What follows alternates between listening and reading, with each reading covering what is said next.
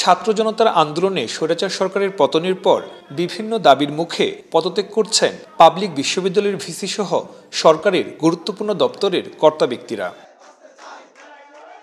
সেখানে নিজের অবস্থান ধরে রাখতে মরিয়া ময়মনসিংহের ত্রিশালে অবস্থিত জাতীয় কবি কাজী নজরুল ইসলাম বিশ্ববিদ্যালয়ের ভিসি সৌমিত্র শেখর। এতে উত্তপ্ত হয়ে উঠেছে পুরো ক্যাম্পাস।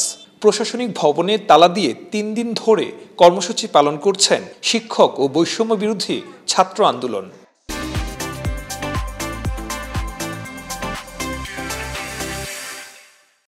আমাদের হলগুলোতে ছাত্রলীগের সেই সব ক্যাডাররা আবার ফিরতেছে এবং তারা আগামী পনেরোই আগস্টের যে এজেন্ডা বাস্তবায়ন করবে সেই এজেন্ডা ধরে রেখে বিসি এবং এই এজেন্ডা বাস্তবায়নকারী যারা ছাত্রলীগের ক্যাডার আছে সম্মিলিতভাবে নতুন একটা রূপরেখা তৈরি করতেছে। আমাদের বিশ্ববিদ্যালয়ের স্বৈরাচারী বিসি এখনও নির্লজ্জ বেহায়ের মতো সেই পদত্যাগপত্র জমা দিচ্ছে না। বিশ্ববিদ্যালয়ের ছাত্রছাত্রীরা ইতিমধ্যে তার বিরুদ্ধে আন্দোলন করছে। শিক্ষার্থীরা বলছেন কোটা আন্দোলনের সময় বিশ্ববিদ্যালয়ের ভিসি, ডিবি পুলিশ আর ছাত্রলীগ ক্যাডারদের দিয়ে ক্যাম্পাসে কাউকে দাঁড়াতে দেয়নি। এই জন্য ভিসির পদত্যাগ চান তারা।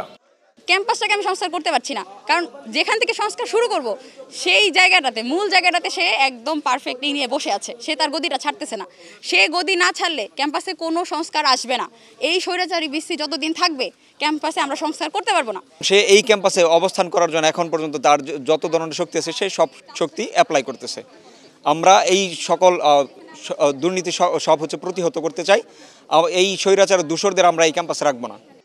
এদিকে শিক্ষার্থীদের সাথে আন্দোলনে যোগ দিয়েছেন শিক্ষকরাও। বলছেন, অনিয়ম দুর্নীতি নিয়োগ বাণিজ্যের সাথে জড়িত উপাচার্য সৌমিত্র শেখর। ভিসির সাথে অনিয়মে জড়িত অন্যান্য কর্মকর্তাদেরও পদত্যাগের দাবি তাদের।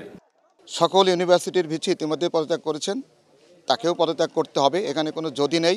ছাত্ররা ইতিমধ্যে ঐক্যবদ্ধ হয়েছে। সকল ছাত্ররা ঐক্যবদ্ধভাবে দাবি তুলেছে এবং এই ছাত্রদের সঙ্গে আমরা শিক্ষক, কর্মকর্তা, কর্মচারী সবাই সংহতি প্রকাশ করেছি এবং একমত হয়েছি। সরকারের যে পতন হবে, এইটা উনি ভাবেনি।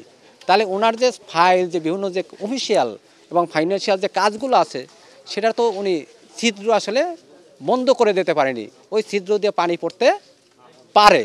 এখন উনি চেষ্টা করতে এই ছিদ্রটা যদি বন্ধ করে, তাহলে উনি এতদিন ওই যদি ছিদ্র যদি বন্ধ করে যেত তাহলে উনি হয়তো বা পদত্যাগ করে ফেলতো। আন্দোলনরত ছাত্র শিক্ষকরা বলছেন, ভিসির পদত্যাগ না হওয়া পর্যন্ত আন্দোলন চালিয়ে যাবেন তারা। Sultan Mahmud Konik, channel twenty four, Mymensingh.